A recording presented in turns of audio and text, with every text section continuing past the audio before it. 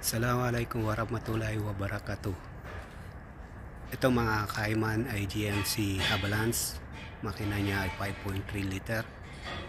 Ang concern ng mga yari ay papalitan niya yung oil pump saka yung water pump at strainer ng oil pump. Ito ay check ko yung cluster para sure kung okay ang bomba ng lumang oil pump. At ayan, start ko na. Ayan at nakikita naman sa oil gauge niya ay normal naman ang bomba ng oil pump.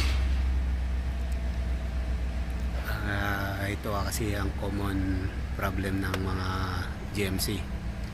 Umihina yung bomba ng oil pump kaya itong may-ari ay inaagapan na niya kaagad na palitan kaagad yung oil pump. At ayan na, makikita naman na normal naman ang bomba ng oil pump.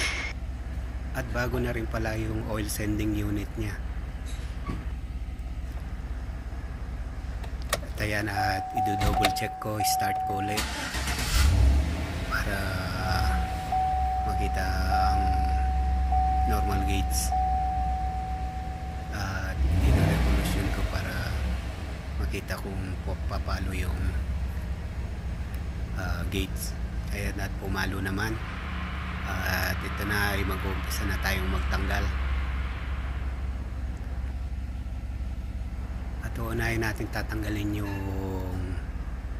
pole sa battery, yung negative.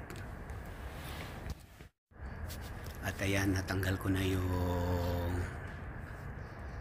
ah, air filter box at yung hose nung sa water pump pati yung pan. At susunod na natin yung water pump. At ayan natanggal ko na yung water pump pati yung crank pulley. At ayan yung crank pulley. At ayan naman ang ginamit kong puller pati yung mga push rod nya ginamit ko yung push rod na pangalawa sa mga mahaba. At sunod ko naman na baklas yung oil pan. Ayan. Ah, maya maya ay lilinisan natin yan para pag assemble ay puro ah, ready na. Ayan yung pwesto ng oil pan. Bago nga pala matanggal yung oil pan ay kailangan natin tanggalin yung differential kasi masikip siya masyado at ayan yung differential binaba ko.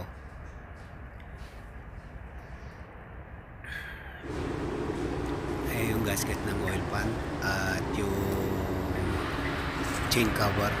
Ay yung gasket. Ay yung mga strainer nya tapos yun yung oil pump na luma. Meron nga pala yan na apat na tornilyo na 10mm yan. at yan yung second oil pressure relief. At ito na yung mga ikakabit natin mga bago. Ayan yung gasket niya sa timing chain cover at yung part number niya. Ayan naman yung gasket niya sa oil pan. At ayan yung part number. Tapos yung oil pump kaya yung part number niya tapos yung gasket ng water pump ayan yung water pump yung malaki na yan. At seal pump silicone. At yan naman ang crankshaft oil seal sa may pulley. Ayan part number niya. At ayan yung second oil pressure relief. Ayan siya at ayan naman na yung strainer niya. Kasama na yung o-ring dyan. Ayan yung o-ring ng ano strainer at oil pump. At ayan yung part number oil filter.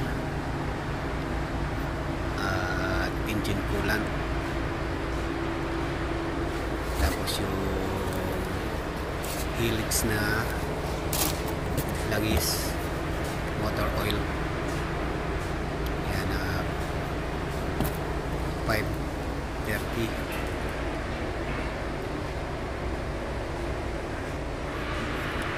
at okay na ayan nalinisan ko na yung uh, oil pan. At yung chain cover yan at nalinisan na rin. Tapos nilagay ko na rin yung second oil pressure relief. Ayan yung luma at nakabit na rin yung bago ayan at mag-umpisa na tayo mag-assemble sa sakyan. Ayan at naikabit ko na yung uh, bagong oil pump. Ayan yung tornilyo niya apat. Naikabit ko na rin yung strainer at may isang tornilyo dyan sa ibaba na 10mm tapos uh, may tatlo ay dalawang tornilyo yan na 13mm at ayan na ikabit ko na rin yung chain cover o timing cover at susunod na natin yung ayan crank pulley uh, oil pan. At ayan no, nai assemble ko na pati yung oil filter na ikabit ka na rin. Tapos yung maya maya yung differential. At malapit na rin matapos yan naikabit ko na nga rin yung belt nung sa AC compressor. At yan naikabit ko na rin yung water pump. Isunod ko na dyan yung drive belt. Uh, ayan. Hindi ko kasi may video kasi wala akong taga video kaya pagkalagay ko na lang doon ko nabibidyo. Kaya yung mga tornilyo ng water pump. 10mm din yan 6 na piraso. Kaya na ikabit na yung drive belt at susunod na yung pan. Ikabit ko na rin yung airbox. O sa air cleaner ayan nakikabit na rin yung fan pati yung hose nung water pump. At sinunod ko na kinabit yung differential uh, maya maya yung ay yung tornilyo na nut na 21mm yung harness. Uh, sa kabila naman ay 18mm yung dalawang tornilyo ayan sa ilalim yan yung dalawang tornilyo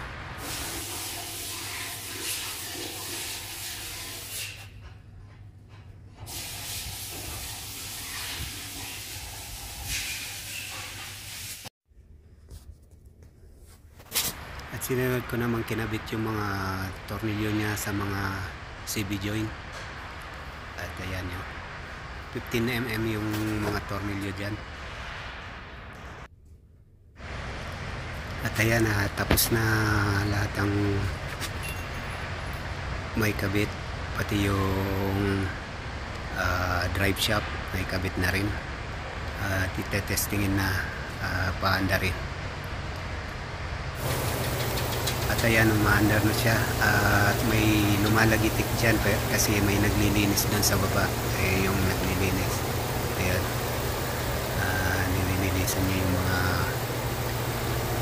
uh, na pondong mga dumi doon. At ayan ay uh, check natin yung oil gauge kung parehas ng kanina na normal at ayan normal naman ang gauge nya at oh, ayan ito yung mga nilinis nung kasama ko kanina. Okay naman na yung mandar at uh, ready to go na yan. Kaya maraming salamat po sa mga manunood at nanood. Uh, shoutout sa lahat ng mga supporters kung hindi ka pa nakasubscribe sa aking channel pakisubscribe at pakipindot na rin ang bell para manotify kayo sa susunod ko pang mga video. Salamat sa pagsuporta mga kaiman at sa susunod ko pang mga video. Maraming salamat. Hanggang sa muli. Masalam